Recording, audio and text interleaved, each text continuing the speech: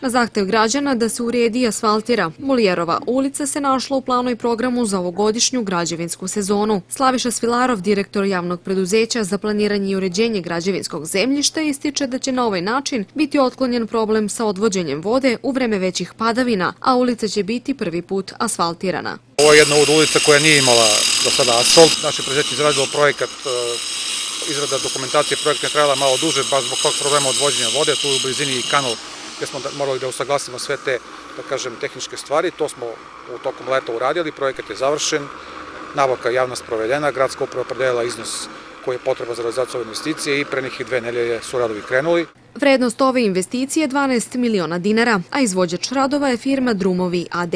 Do sada su završeni zemljani radovi.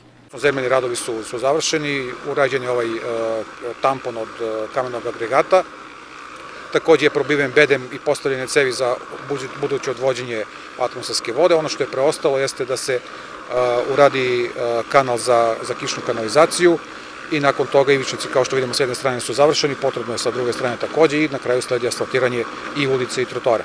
Vrednost ove investicije oko 12 miliona dinara i očekujemo da za nekih 15 do 20 dana, nadamo se uz lepo vreme, radovi budu okončani. Pored završetka uređenja trotoara ulicama Milivoja Manića i Vuka Pantelića, juče su počeli radovi na rekonstrukciji ulice Berilovački put, dok su na lokaciji Zapadni Kej u toku zemljani radovi.